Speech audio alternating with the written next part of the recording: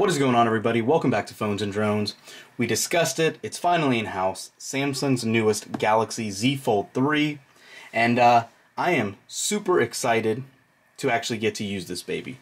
So first things first, if you guys are familiar with last year's model and everything of the prior folds, you'd know this box is night and day smaller than that prior generation fold. And I actually have the box right here. Let me grab it for us. And uh, yeah, big, big difference for what they're aiming at here. Much more, I guess you can say, environmentally friendly. But yeah, big difference in the Z Fold 2 marketing material as opposed to the Z Fold 3. A couple different reasons for that. The first being that this does not include a charger in the box. You're going to hear all about it. If you have a prior generation Fold or a prior generation Samsung device, don't even worry about it. It works with all those chargers. USB Type-C is still going to be your go-to, so nothing to worry about there. Beyond that, this is the Phantom Silver color pattern, 256 gig, two different color or three different color configs, two different storage configurations. Comes with that USB-C cable we're talking about, quick start guide, and the terms and conditions. Let's cut into this baby really quick and take a look.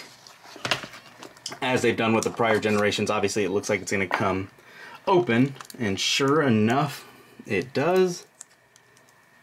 And there we go. We'll set this right to the side here for a second.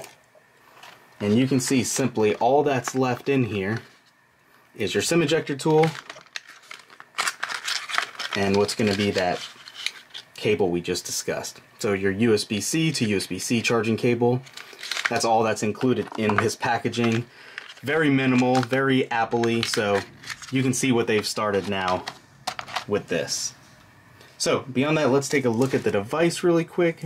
Peel off this plastic and look at this phantom silver color and see what you really get.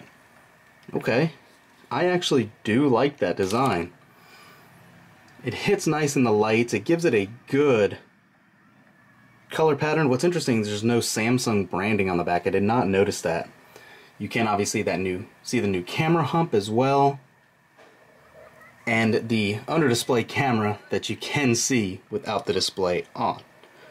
Let's go ahead and alright, give that first fold feels good. They've reaffirmed the hinge. You can see it's a little different. I actually have my prior gen Flip 2 here, or Fold 2 I should say, and uh, this is that golden bronze color that it had prior.